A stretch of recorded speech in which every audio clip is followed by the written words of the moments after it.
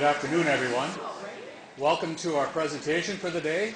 I'm Mark Smith, Chair of the, Ch- the uh, Sheboygan County Chamber of Commerce's Business Advo- Advocacy Committee, and I'd like to start off with a couple of thanks if we could. First, thanks to our sponsor, Purveya, for hosting us today.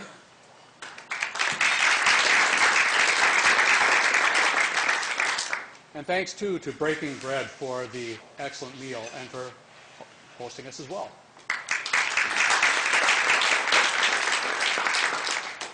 I'd like to point out several dignitaries in the audience today.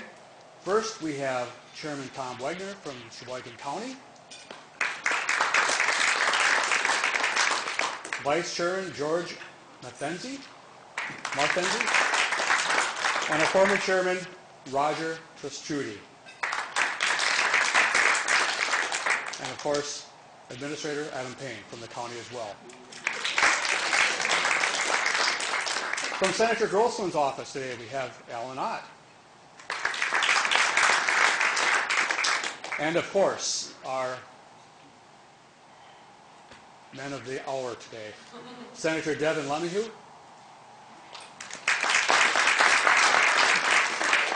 Representative Tyler Vorpagel, and Representative Terry Katsma. We're going to get right into the program today, and while the, our dignitaries are making their way up to the front, I'd like to also ask that the Business Advocacy Committee members, if you would, please raise your hands. And if you would, if you're a member of the audience today, if you have any interest in this program, additional programs you'd like to see, ideas for future programs, please talk to anyone who's raised their hand and let us know what your ideas are for future programs. We would love to hear your ideas. Quick announcement about upcoming chamber events. Wednesday, March 15th, there'll be a focal point for praise active shooter training from 7:30 to 9 a.m.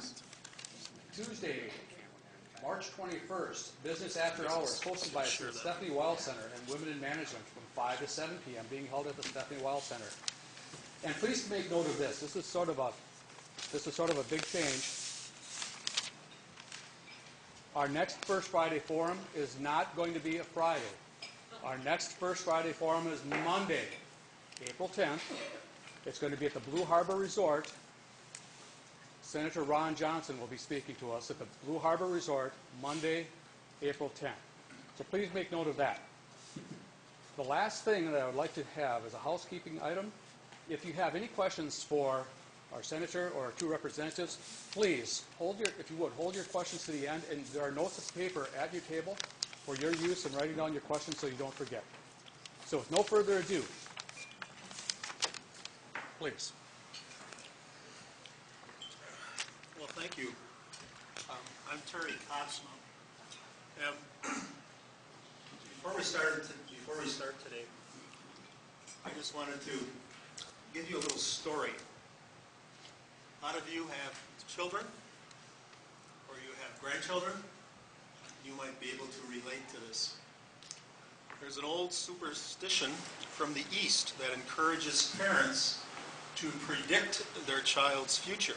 Folk wisdom suggests that while the child is still a toddler, the parent should place on a table within the child's reach a bottle of wine, some money, and a Bible. If the little one walks up to the table and picks the Bible, you will probably follow a spiritual vocation, pastor, priesthood. If he picks up the bottle of wine, then, then hedonism is in the cards. And if he picks up the money, he'll probably be a business person or entrepreneur. So the story is told of a new father eager to plan for his son's future who administered the test. He carefully positioned the three objects on the coffee table, watching eagerly which ones the little boy would pick. The little guy walked up to the table, surveyed everything, slowly reached out his hand for the Bible. Then he paused, picked up the money as well, put it in the Bible. Then he tucked the Bible under his arm and took the bottle of wine in the other hand and toddled off with all three, struggling to maintain his balance. The little boy's grandfather stood over to the side, silently watching the whole scene unfold. When he saw the dismay on his own son's face, he said, This is bad news. He's going to become a politician. Anyway, uh, I know many of you, but I don't know all of you. Uh, I just was elected for my second term. The area that I represent begins on the south by the uh, Sheboygan-Ozaukee County line, the town of of Sherman, town of Holland, town of Wilson, town of Lima, and then about three, about 60% of the city of Sheboygan and the city of Sheboygan Falls. And uh, prior to that, I served at, or worked at Oostburg State Bank uh, for about 30 years, uh, last serving as president of, of that. So this is a, a second career, change of careers for me. And it's so, it's so much nicer being a second term than a freshman. When you're a freshman, you have got no clue what's going on. Now, when you're second term, you know how it is when you start a job, you can at least ask some decent questions and you can have some influence. And uh, what I'm privileged to do is serve as chairman of the Financial Institutions Committee, um, serving as vice chair of the Ways and Means. I am on the Federalism and Interstate uh, Committee. Tyler can talk a little bit more about that. I'm on the Insurance Committee and the Housing and Real Estate and Workforce Development.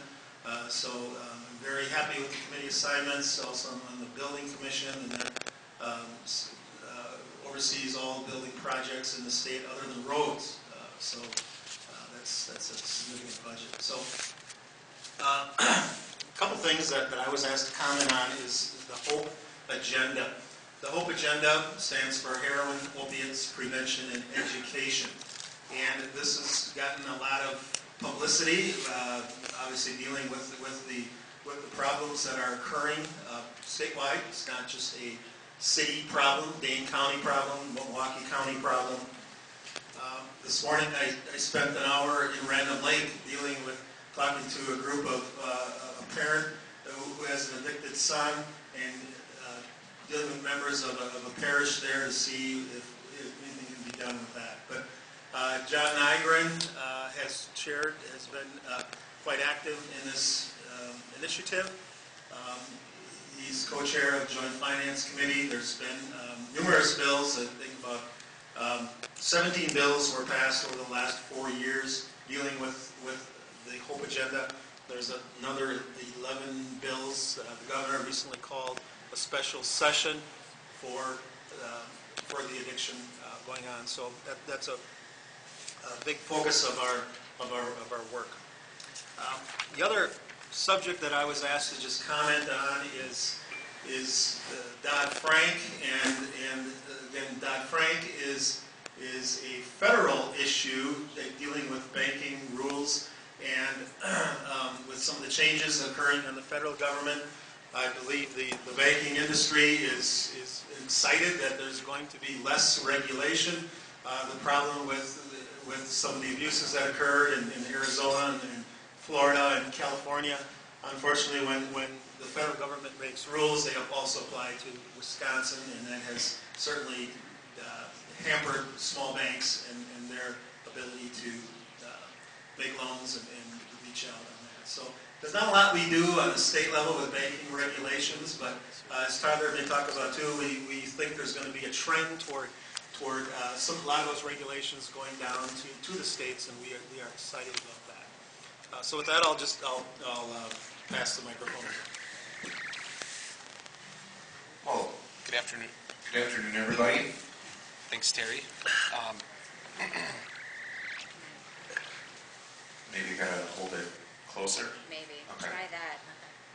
Otherwise, maybe we'll go without, because that might be better, if you can just project. Okay, well, if I gets too much of a problem, I'll Change it up. Uh, Good afternoon. I'm uh, Tyler Vorpagel. That didn't last long. And I'm the state rep for the 27th Assembly District, like Terry. Uh, We both started in uh, 2014 uh, with our, where we were first elected, so we're both starting uh, our second term. Uh, I live in Plymouth. and uh, represent the kind of communities. If you kind of draw a line along uh, 23, uh, Kohler, um, and then the north side of the city of Sheboygan up to Cleveland, uh, over to Kiel, and then kind of all points in between uh, in between there. So, um, as Terry had mentioned, we're just starting our uh, second term, which means uh, we're just getting into, for the second time, our, uh, the, the state budget. And, which is really kind of a, a- an interesting process. Uh, maybe to, to back up so we can kind of talk a little bit about how the uh, budget is formulated. It's probably the, the biggest focal point, at least for the next six months. Um, the governor presents, comes up with a budget and presents his budget to the legislature, uh, which he just did in a, a joint session with uh, uh, some remarks that he had uh, back at the beginning of February. Then now we're sort of in a little bit of an in-between time. We're waiting for uh, fiscal bureau, kind of our number crunchers and uh, policy people to go through the budget and come up with uh, policy papers and things like that for us to look at. And then once they get that all together, um, the Joint Finance Committee, which is made up equally of members from the Senate and uh, the Assembly, go around and have listening sessions on the, uh, the governor's budget, and then start their process uh, of, of making changes, which we're all assigned a budget buddy. Mine is uh, the co-chairman, uh, John Nygren, uh, and we have regular meetings, and uh, that's how we can affect changes in the budget uh, through that that process through that process by submitting amendments to our budget buddy, and then he makes the case to the, the rest of the, the members on joint finance. At the end of the day, they come out with, gee, excuse me, um, they come out with kind of their final product, and then it's adopted by the assembly, uh, and then adopted by the Senate separately, and then, and, uh, and then the governor signs it and has some power to, to do a, a little bit of vetoes. But um, that being said, I was uh, asked to kind of talk about transportation a little bit because that's kind of been the uh, uh, kind of a hotly talked about uh, issue over the past year and a half, two years. So the governor's budget spends about six billion dollars on transportation uh, and infrastructure, roads, bridges, things like that, through a number of uh, various programs. And um, I guess what I would consider this, his budget proposal to be is one that's sort of focused on uh, local governments rather than uh, expanding and doing more uh, highway projects uh, or larger projects, what they call the, um, the, the uh, mega projects or the major projects uh, throughout the state.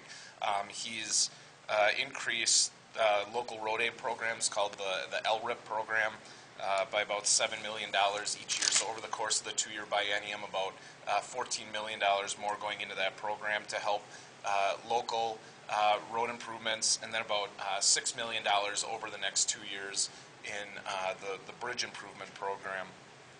Um, and then uh, also, uh, his budget doesn't delay the, the majors program, which if you think of like it's the 441, Highway 10, Verona Road and Manitowoc, or uh, Madison, uh, I uh, 90, uh, 3990. Um, those projects stay on task, um, but then uh, some of the mega projects, which are the Southeast Wisconsin Zoo interchange, things like that, uh, is set up to kind of see a little bit of, uh, of a delay. Um, also, kind of part of the, the governor's budget over the last couple of years, we've been having this discussion over uh, bonding or, or borrowing and things like that, and uh, how much is too much, what is the appropriate amount. We've been seeing the amount of bonding uh, as part of the transportation budget uh, going up and up, and it's kind of getting to that uh, 20%, uh, 20% point, uh, which uh, all kind of the fiscal bureau people and the number crunchers say is sort of the, the tipping point where you want to keep it below about 20, uh, 25%. So that's certainly a concern I have is um, are we, you know, everybody takes on debt in their lives. You don't uh, typically pay cash for a house. You have a, a mortgage, car mortgages, things like that. But the bigger question is at what point are you too far extended and uh, when do we need to be ratcheting that back and actually be having a conversation about uh, paying for the projects that we're having rather than uh, that, that we're doing rather than kind of uh, kicking the can down the road. Um, one of the things that you've been hearing talked about a little bit is um, this conversation about a gas tax increase, uh, vehicle registration fee increases, um, things like that. Uh, originally, the, the governor had said that he would not support a uh, gas tax increase or what we kind of call revenue uppers, I guess, if you hear that term, uh, for the transportation fund without an offset in uh, uh, a tax reduction somewhere else uh, in the budget. Um, part of uh, the budget process, the, the uh, we found out that we had. Sure. All right, part of the, ooh, that works a little better, um, at least for now.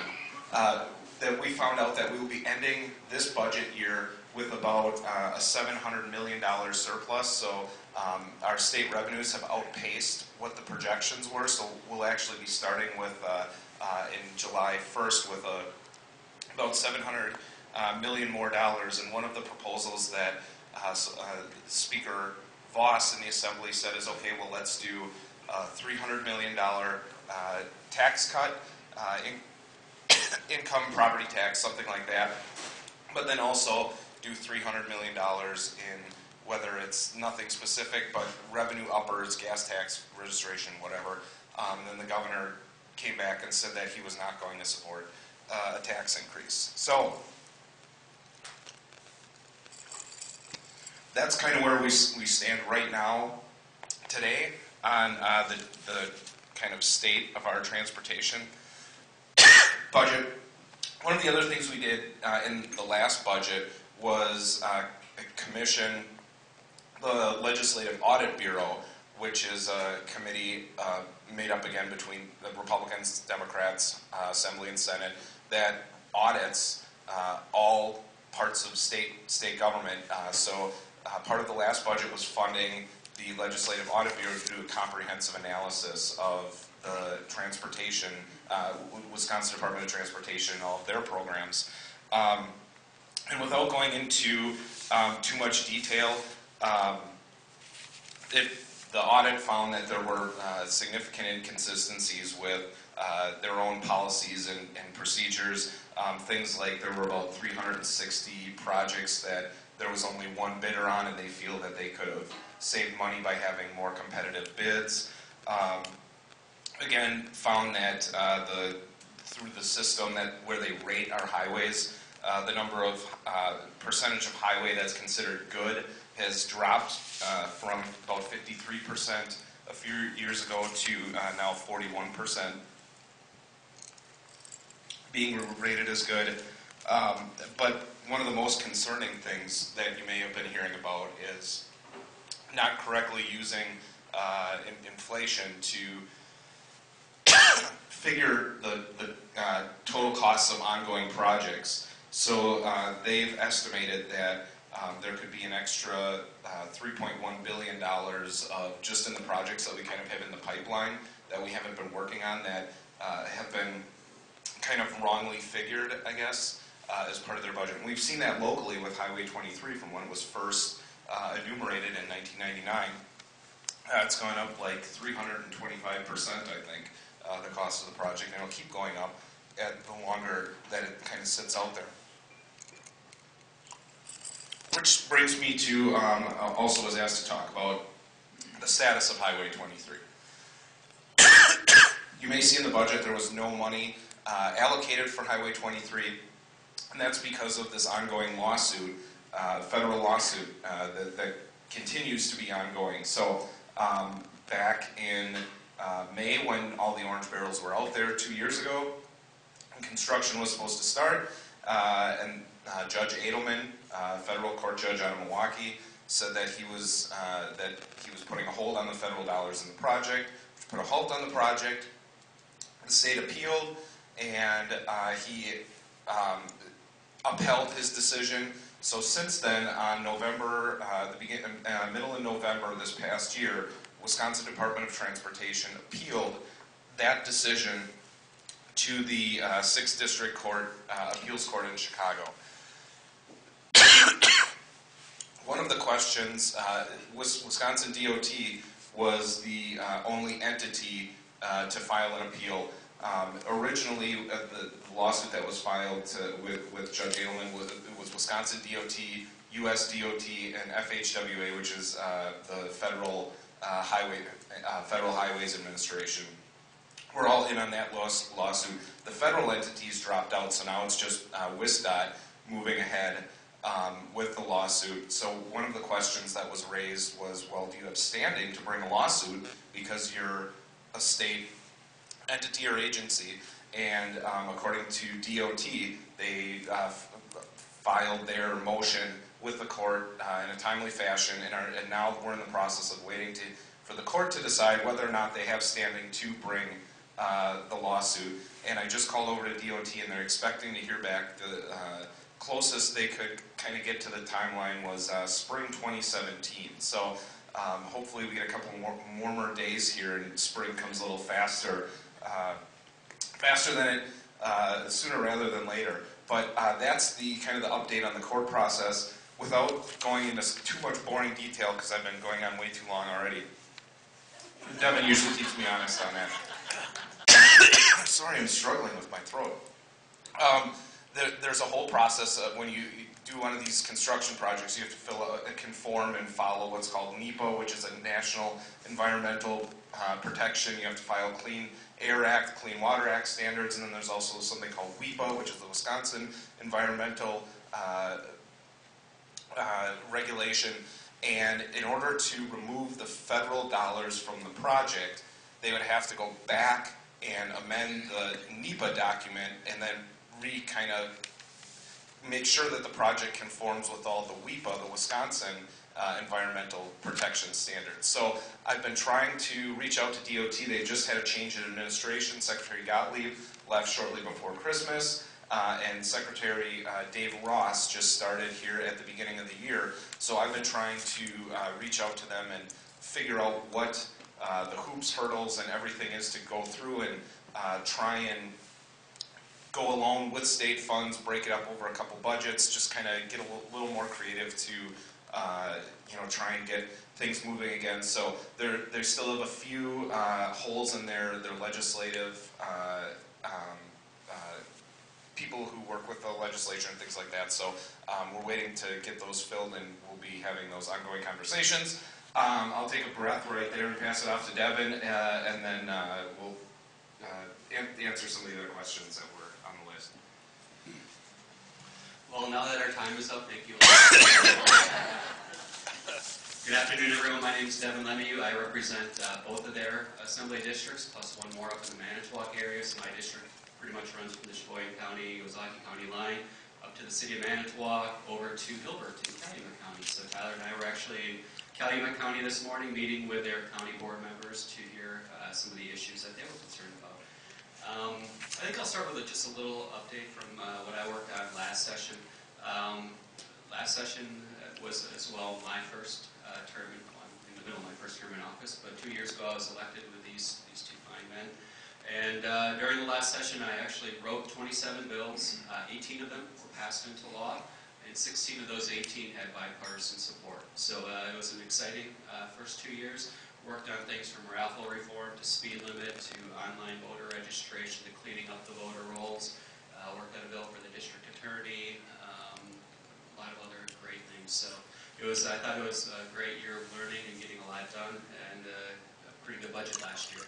Um, Starting this year, um, well, last year I chaired the Elections and Local Government Committee. This year it's been changed to Elections and Utilities, so I've entered the, uh, I was sitting back with some of the utility guys back there, grilling me hard. But uh, I'm the new, new, new utilities is now uh, committee that I'm chairing, so I've learned a lot about the, the whole um, energy production and distribution system over the last couple of months. That's been exciting. And, um, well, maybe exciting is a little bit of an overstatement for, for utilities, but Electrifying?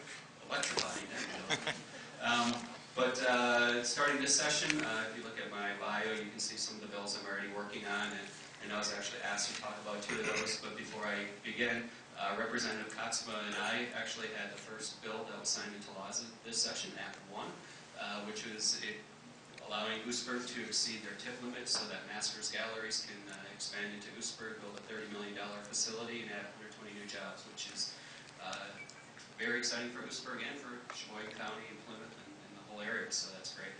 Um, The two bills that they asked me to talk about, you can see some of the uh, bullet points on your, on your sheet there on my bio, but uh, the first is the REINS Act. Um, This is a bill that's patterned after an idea from the federal government as well, and I worked on this last session. Um, My counterpart the assembly actually got it through the assembly house, and I failed to get it through the senate, so, so giving another swing at it this session. What it essentially does is it brings legislative control back to the rulemaking process, especially expensive rules that have huge impacts on local governments, uh, taxpayers all around the state of Wisconsin. The way um, state government and federal government works is there's a lot of different bureaucracies, and they have the ability to write rules in certain areas, such as the DNR writing, you know, commercial fishing um, limits, things like that. And when we pass a law, these agencies take our law and write rules around it to how our laws are enforced. Well, when the federal government passes a law such as the Clean Air Act, Clean Water Act, then it's the responsibility of, for instance, the DNR or different agencies to promulgate, make rules based on the federal law. An example of this was in 2008 when the Clean Water Act was passed. They made uh, rules, the state made rules, the state DNR made rules about how water um, treatment plants, the quality of water that can be put back into to our water system. And what the state DNR did was they went way above and beyond what the federal government actually required. And the way the system is currently set up, there was never actually a vote taken on this because the only way we can stop a rule is to pass a law sub- over subverting that rule. So what the bill actually does, the way we have it written now, is that if there's a rule that's going to cost over $10 million over a two-year period to um, small businesses, uh, levels of government, things like that, that us as legislators who represent you actually have to take an affirmative vote to pass that rule to make sure that it's in line with what the intention is of the government and things like that. So I think it's a very important thing to give legislative oversight to, especially things that have huge impacts on uh, local ratepayers for your, uh, water, uh, sewer, things like that. Um, so we're excited about it. The governor actually put it in the budget as well. Um, his version is a little different than, than my version. Obviously, I think my version's version. So I'm working on it. But, uh, but uh, so we're, very hopeful that, that this can get done this session to make sure that uh, we're, we're stopping harmful regulations from getting passed on from unelected uh, government officials. And uh, the second uh, bill that I was asked to talk about is the Second Start Act. Um, This was also another bill that was introduced last session by the late Senator Rick Gudex.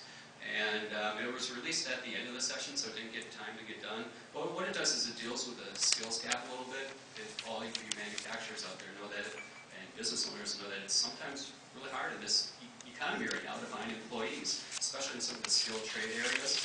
Uh, So what this bill does is it takes um, students who do not finish their traditional four-year UW education, and it allows the Department of Workforce Development to uh, essentially market these, these students for other job opportunities in the area, or career opportunities in the area that they live, such as apprenticeships, uh, LTC, um, nursing opportunities, things like that. Because what, what especially the, uh, skilled trades found is that if someone doesn't finish their traditional four-year education, it's usually not till they're 28, 29 years old till they actually find an apprenticeship. So they almost lose a whole decade of their life when they're, working at Walmart or Culver's or whatever, trying to figure out what to do with their life. So this way, it gives them an opportunity to uh, see well, there's opportunities in welding at LTC or uh, electricians or nursing. So to help these students find the right path in their life. So we've uh, it's gotten a lot of good uh, publicity already, and we're very hopeful that we can uh, can get that done. But uh, with that, those were the two things that I was asked to talk about. We can turn it over to the list of questions. Could I comment, there's blue books in the back, if they're not already, they're gone, okay, good. There's some maps, probably, in the past you used a paper map, nobody uses that anymore, maybe give it to your kids or your grandkids, they can color on it. There's also a sign-up sheet, uh, if you're interested in receiving my e-update, I appreciate that. I want to just give a shout out to the chamber, the county chamber, who has been very active in these ozone non-attainment. And I didn't really know much about that uh, until I was serving in this position, but just to summarize, Sheboygan County and half of Kenosha County is found to be in non-attainment. And it's because we have this ozone monitoring station at the edge of Kohler, at Kohler Park, like about 50 feet from Lake Michigan. And that is monitoring ozone and a lot, it's coming up, it's transport ozone that comes up from Illinois and Indiana. And because of that, our whole entire county is found to be in non-attainment. And this is a big deal because this has an effect on our economy, on businesses that, that want to expand. We've had reports of folks that have not expanded in the county, they've expanded out of state. We've, we hear reports of folks that want to move to, to Sheboygan County, and then they, they go on the website and, and look up uh, uh, American Lung Association and find out that Sheboygan has bad air. And did you all know that, that Sheboygan had bad air? And so the problem is the, the federal EPA regulations prevent us from moving that monitoring site at Andrae. A couple years ago, there was a new site that was uh, down on Highway 42 and near Haven that is reporting below ozone levels. So, and, and thanks to the work of Alliant and many, many, many other companies in the county that are working hard to produce clean air, we could have all the companies closed down and all the cars out of the county, and we would still be in non-attainment because of the ozone that comes up over the lake. So just a couple of weeks ago, a few of us were in Milwaukee meeting with Senator Johnson's office. Uh, they've been very active on this, along with, with Congressman Grothman. They understand the urgency of this matter, and I want to give my hat to, to Jane and to Betsy. And, and so just so you know, uh, you're, when you you know when you write out that check for your chamber dues, that's one of the good things among many that they do. But but uh, so thank you for your emphasis and your work on that. So do you want to moderate moderate these questions, or are you're going to let us moderate the questions? Actually, actually, I have two questions Oh, okay. Actually, I have two questions, and then we'll take questions from the audience. If you, anybody who's writing them down, I'll come around and pick them up in between the answers here. Uh, Gentlemen, recently the governor suggested reviewing the law that requires public school districts to start their year no sooner than September 1st. Understanding what this means to the tourism, tourism industry, and I have to say also to the education uh, of our students, because we have some educators in the audience, do you believe that this is a local decision that should be given to the local school, school boards based on the needs of their district and in their community? One thing I've learned being in the legislature, every issue is local control.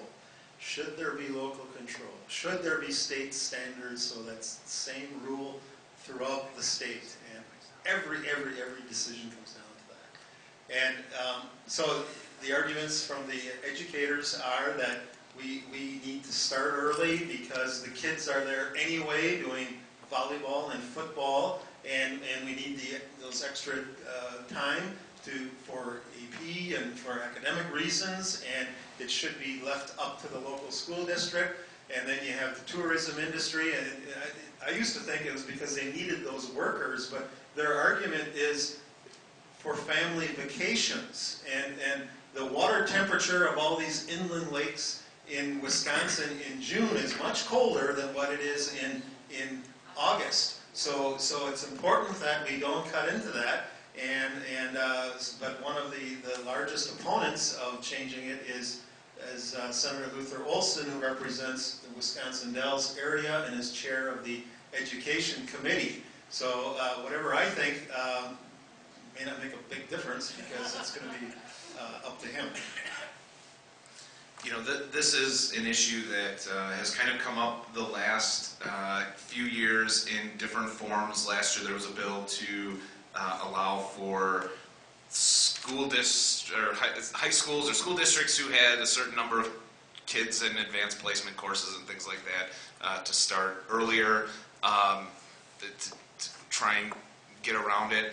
Um, I really am uh, conflicted and uh, trying to learn from both the education and the tourism folks. I've been uh, talked to a lot by the folks at the Elkhart Lake Chamber and the Plymouth Chamber uh, about uh, the impact that tourism has on uh, their communities. Um, and uh, so I, I guess I'm, I'm still trying to do my, my due diligence and figure out what is the best option for the area. Um, I tend to lean a little closer to letting uh, uh, the, the local school boards decide, but, um, but like I said, I, uh, this is something I'm really, really, you know, I know it had, does have a big impact on this area and really want to be sensitive to, to that fact as well.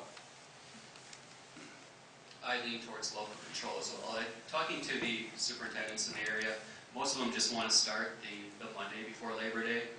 As you can imagine, Labor Day moves every year. It's not the same day every year. So every year you're starting calendars different every year.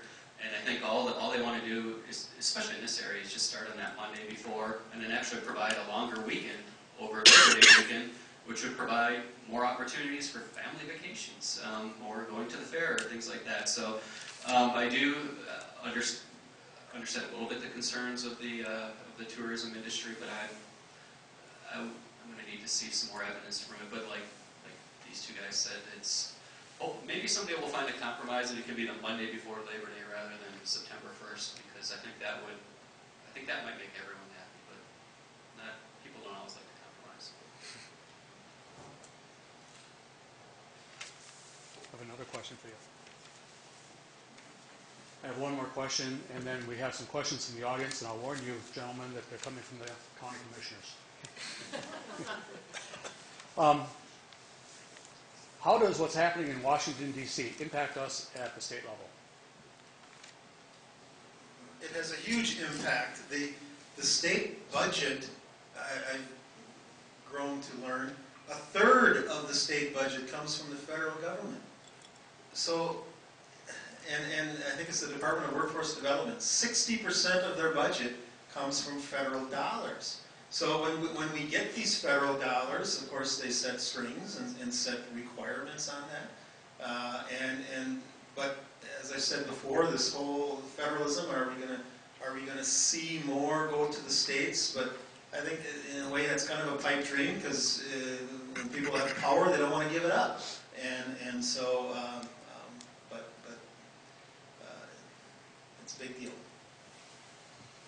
Um, so this is kind of the third uh, item that I, I wanted to talk about. Um, so we had, had the speaker created a new committee that we didn't have in the assembly last session, uh, calling it the Federalism and Interstate Relations Committee, with the thought being with, uh, with a new administration and a Congress who had their leadership uh, have all said that they support devolving, giving some power back to the state, whether it's block granting Medicaid, um,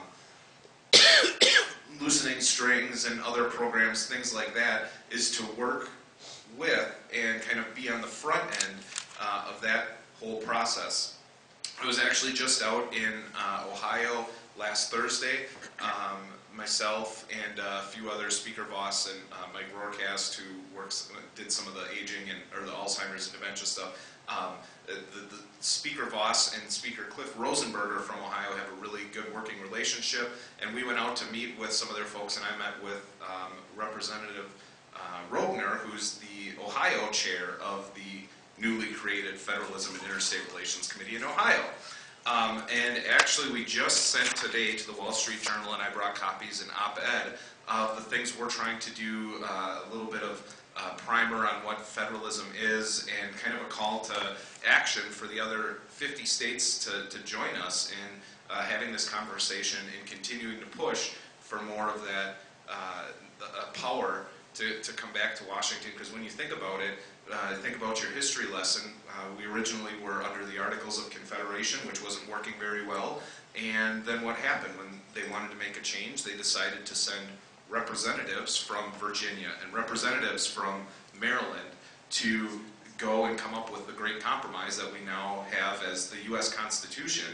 And throughout the last century or so, particularly with lawsuits um, uh, disrupting the Tenth Amendment and uh, you know the uh, um, very commerce clauses and um, things like that. We've seen a lot stronger uh, central government than I think was uh, initially uh, empowered. You know, we were, were considered the laboratories of democracy. So um, I'm really, if you can't tell, I'm really geeked out about this, and uh, um, uh, and just uh, I think it's a great opportunity and one that uh, we don't want to uh, squander.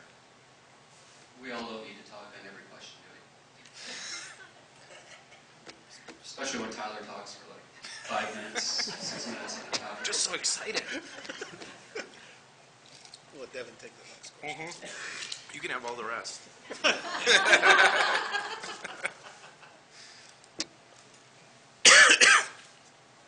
Thank you.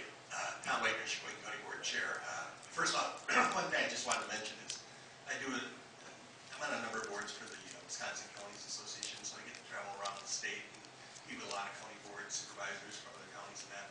I believe we have one of the best relationships with our county board and our legislators in the state of Wisconsin. And I want to thank you gentlemen for that. I mean that sincerely. We have a very good working relationship, certainly with the three of you.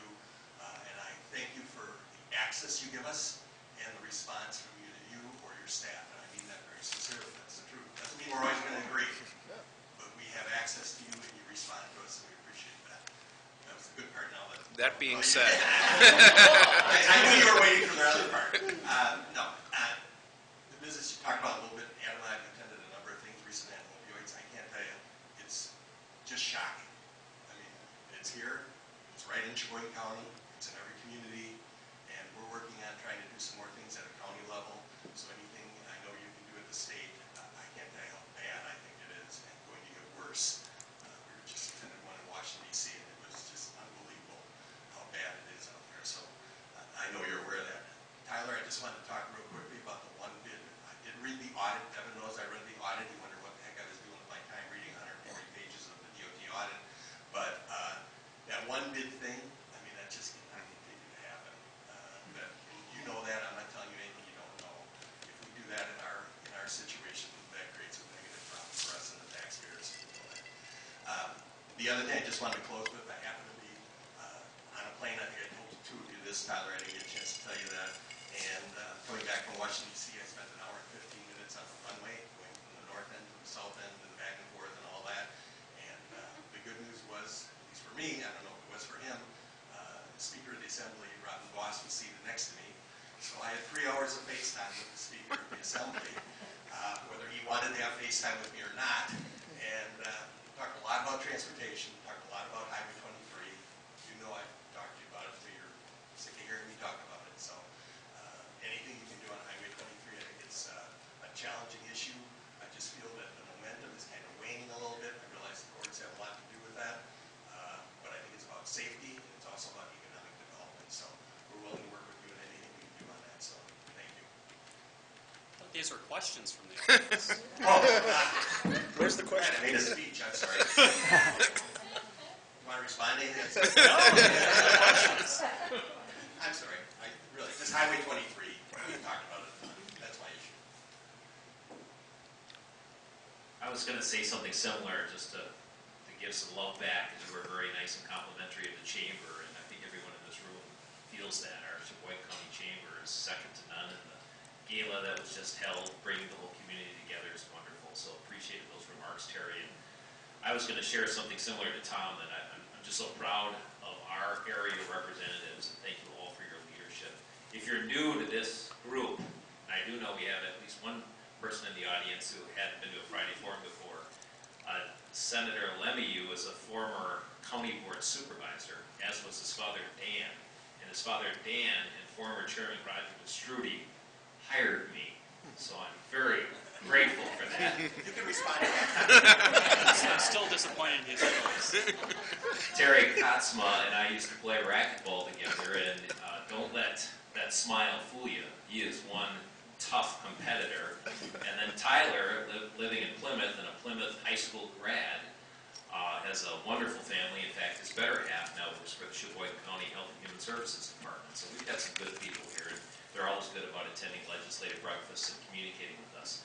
The key thing that Tom and I wanted to share today, and I do have a question, Highway 23. Um, 1999, when it was enumerated or approved, it was about a $42 million project or so estimated, and today it's over 140 million. There'll be a letter, letter to the editor from German Wegner and I this weekend, raising attention to it and encouraging all of us to support their leadership to bring more attention to this. And personally, though the lawsuit has slowed progress, when you have the kind of resources that we have in the state, state funds, whether they're general funds, segregated funds, or bonding, we don't have to rely on federal funds to complete the work on Highway 23. And every year that it's delayed, that cost just goes up and up to the point where you wonder, is it worth waiting for the federal funds? Or are we all as taxpayers going to end up spending more to get the job done to begin with? So there will be a letter out there, and for those of us involved, and I know the Chamber's been involved, Kohler Company, Sargento Company, there are a lot of really important companies and people in this community behind seeing 23 get done. We encourage you to push that envelope. So the question is, the governor has taken a point of view where he doesn't want to raise any revenue, and none of us like to see taxes increased. But when you see the kind of data that's been produced now the shape of our roads, the escalating costs to catch up, what's all been playing out, what can you do? What can the legislature do to bring this to some type of compromise and action to problem solve, rather than the ongoing excuses, whether it's a lawsuit or whatever. I think what this community is looking from our friends and, and area representatives is what can you specifically do to help move this forward to get Highway 23 done and make sure that we get some new transportation funds in the works to be sure we're being fiscally responsible and taking care of our investment our transportation system. Here's where we defer to our senator. Pass the microphone. Yeah, we're, to, whether we could do it right now with just state funds, um, I think we first need to wait, at least through the federal appeal court process. But it's gonna be interesting since there's already been federal money spent on the project. So uh, if we have to pay that back, I mean, we're gonna need to get all those answers before we could actually just start building it with just state funds. And to put in perspective how much that federal funding is, it's about a quarter of the cost. That'd be about an extra thirty-five million that the state would bear if we would do it all ourselves. Actually, it's gonna be closer to forty million by the time we get around to it. Forty million dollars just in, in extra state funds if we don't have any federal funds. So, um, hopefully we get, uh, hear back from the Federal Court of Appeals in the next, uh, couple months, and, uh, we can go from there. But, um, when funds are tight already, trying to convince, uh, seventeen other senators and forty-nine other assemblymen to overpay ahead of time while your transportation project is in the court system and surpass maybe what they want done in their own district would be a pretty daunting task. Since this speaker, you probably sat with the speaker, probably mentioned 94 or whatever the heck he wants. Um, expanded down there. You said Amy Loudenbeck was on there, she wants 39 expanded down there, so it's, you know, it's all part of prioritizing between the, the different projects, and when your project is tied up in the court system, uh, we have to, to wait till it gets through the process, is, is my point of view. Um, overall transportation funding, um, the, the governor's budget proposal adds three billion dollars of, of spending across the board, not, not in transportation, across the board. And, um, uh, since I haven't commented on this budget proposal yet today, um, uh, there's a lot of spending in areas and some tax cuts, which if I was governor, that wouldn't have been my proposal. So I think we're a long ways away from, from the final product. I don't think either house is gonna be happy with having five hundred million dollars, um, still being bonded in transportation, so, so I think we're a long ways from the process, but, um, um, I think, I think we can still find a lot of savings in, in transportation. Um, when you hear them testifying that they ripped up an entire lanes of road around Madison when the pavement was only twenty years old with a fifty-year lifespan, I mean, that's, that's a waste of money. Are we prioritizing right? There's, there's a lot of stuff in that, in that transportation budget. Devin's right, there are, um, the audit did identify a number of things that, uh, uh, significant savings that we could see. It's not gonna solve the problem, but, um, again, in order, uh, my, my kind of default position is if I'm gonna ask other people to, to, uh, pay more in gas tax, we wanna make sure, uh, we're being as efficient as possible, so I think we'll, we will, and we'll need to address some of those things. Um, there's also things that we can be doing to spend better, um, do federal, state, uh, swaps so that we kind of put all the federal dollars into one project because they're, uh, even though, um, we got rid of uh, prevailing wage, uh, in Wisconsin last session, there's still the federal Davis-Bacon, uh, rule where if there's any federal dollars spent, it's subject to a federal, uh, prevailing wage requirement. So you can kind of sort of get around that by putting all the federal, federal money into one big project in, you know, Milwaukee or something like that, and then uh, use states. Otherwise, there's communities who I think was Muskego uh, did four miles of road and two were through a grant with federal dollars. So like the two mile section that was paid paid with federal dollars was like millions of dollars more than the one same stretch of road, just you know different uh, percentages or whatever. Paid a lot less for the state portion. So there's things like that that uh, we're also going to be uh, looking at and doing to, to be more efficient with the money that we do have. I just wanted to comment that it was previously stated the governor's budget last time for transportation, uh, it was about twenty percent of the total revenue was to go to debt service, principal and interest payments. And that has been steadily climbing, and that's not sustainable. So, but overall, the, the governor's proposal in, in other parts of the budget is the least amount of borrowing, so the, the trend is down for total state borrowing.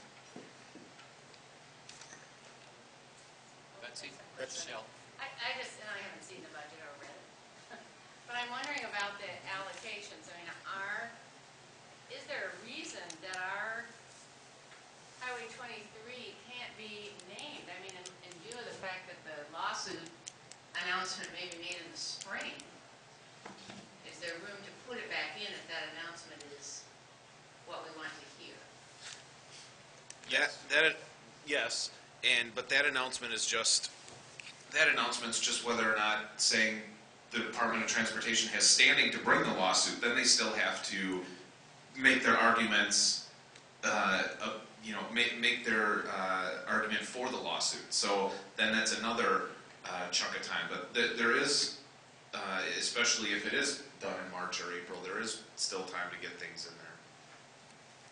Because this, this is a two-year budget, so to, to not have it in there is Right, a good but reason if- to shove it aside again.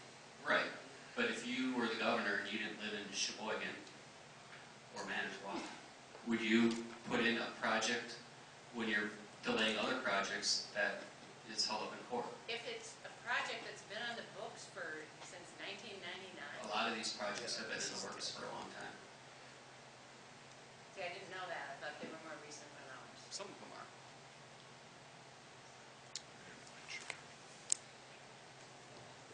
Other questions?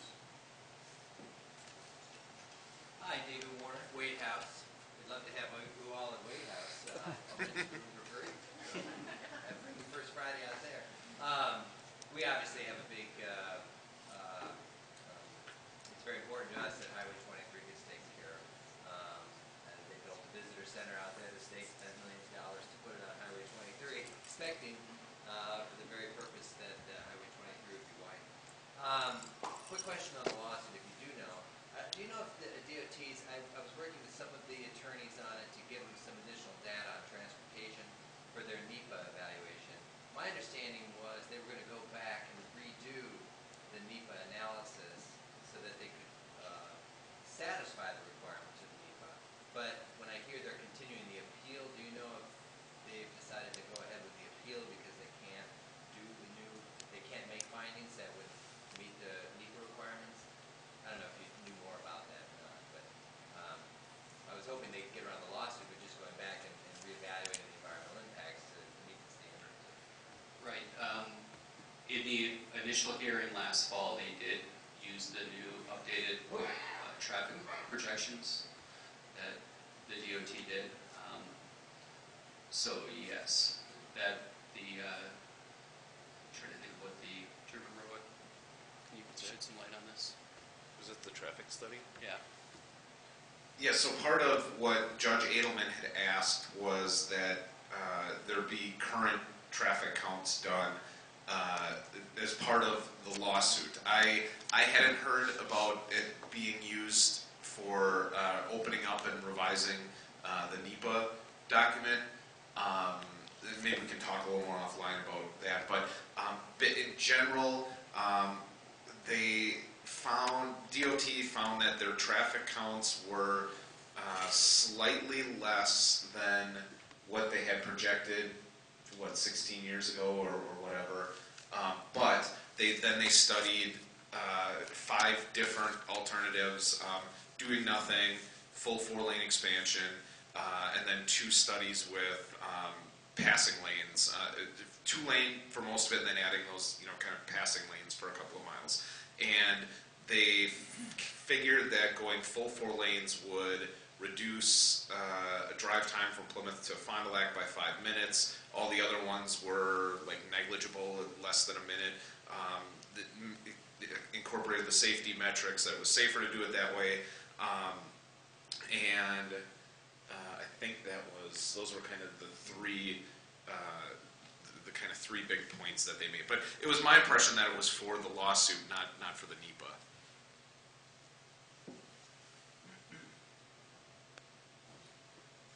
Any other? oh, Can I just comment on the budget? The budget, last session, it was 74 billion over two years. The budget this session is 76 billion over two years. The governor proposed uh, $200 per child increase in, in K-12 public education and $205 the second year of the biennium.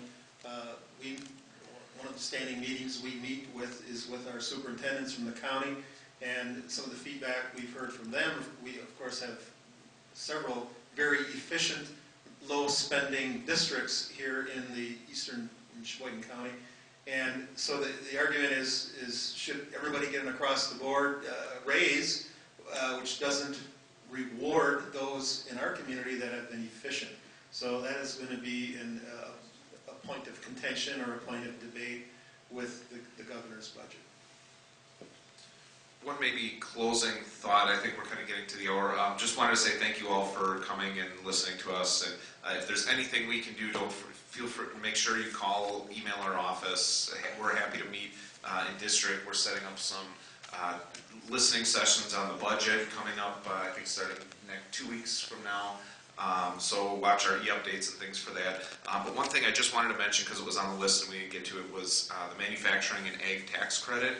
Um, because it has been getting some, um, uh, there's been some articles kind of calling into question uh, the, the program. Um, I wasn't in office when it was first passed in, uh, in like 2011, I think. Uh, but anecdotally, what it's done for this community being so manufacturing intensive, if you think back to 2010 as we were sort of coming out of the 2008 recession, we were dealing with uh, situations like Mercury Marine and Fond du Lac threatening to leave and go to Oklahoma and take you know hundreds of jobs there, um, and other kind of individual uh, companies saying, well, we're going to leave unless you know we get some sort of tax package. Um, the, the discussions I remember at the time was the manufacturing and ag tax credit was designed to uh, lower the tax burden on all manufacturers so that we didn't have to pick winners and losers. We were just saying if you're going to invest and be here uh, and support jobs in Wisconsin, uh, we want to help you with that, not just because you're threatening to leave or things like that. So um, I think, especially for Sheboygan County and the, the surrounding area, the companies that uh, do qualify for it and use it um, has just been a, a, a boon or to, to our economy. Um, we've seen even, you know, Mercury Marine has added jobs over in Fond du Lac since then, and um, I mean, I think it is an important thing uh, for, for this area especially. I was gonna talk about the manufacturing tax. Before it was put into effect in uh, 2011, 81,000 jobs were lost in manufacturing. Since it went into effect, 34,000 jobs have been added to manufacturing. Um, as uh, Al can tell you, Congressman Grothman is in the highest percentage of manufacturing congressional district in the country, in the country, his congressional district. So it's, and what's probably second here is agriculture, and what actually makes this area very special is a combination of agriculture and manufacturing. We do process food manufacturing, so the uh, manufacturing and ag tax credit is so vitally important to, to our district. So I don't, we just had that as a point on there, so I don't know if someone question about it, or if they were wondering if you're gonna get rid of it, but, uh, it's not going anywhere. I just wanted to comment on that uh, credit as well. One of the committees I serve on is Ways and Means, and we had a hearing as, uh, where a non-biased economics professor from Madison was doing a study and compared along the border counties' uh, employment in in Wisconsin versus Minnesota and in Illinois and Iowa, and he attributed part of the improvement in Wisconsin is due to the mag- uh, manufacturing and agricultural credits. So even just a day or two ago, uh, a uh, bill came out to eliminate that. So um, we still got to continue that fight to maintain that. Senator LeMahieu, Representative Katsma, Representative Vor- thank you very much for being with us here today. We appreciate your coming, and of course, we appreciate your service too. Thank you very much.